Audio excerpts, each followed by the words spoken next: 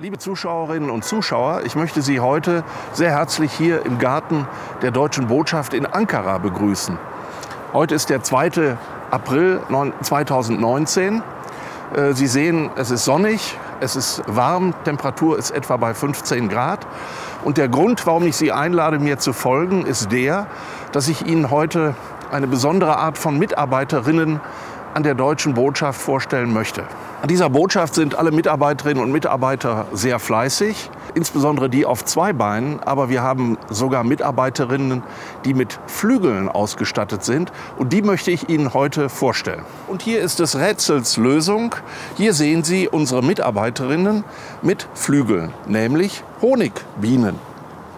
Wir haben im letzten Jahr in 2018 begonnen mit zwei Bienenstöcken, das war eine so erfolgreiche Aktion mit dem Ertrag von 10 Kilo Honig, dass wir uns dieses Jahr entschieden haben, die Bienenstöcke zu verdoppeln von zwei auf vier. Und Sie sehen, welche Aktivitäten diese Honigbienen bereits entfalten.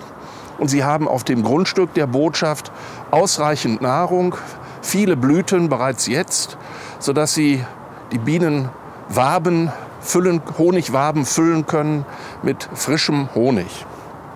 Mein türkischer Kollege in Berlin unterhält auch eine Bienenzucht, nämlich auf dem Dach der türkischen Botschaft in Berlin im Tiergarten.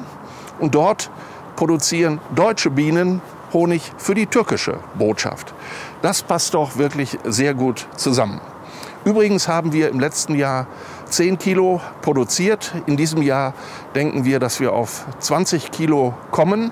Und dieser deutsche Botschaftshonig aus der türkischen Natur ist sehr beliebt.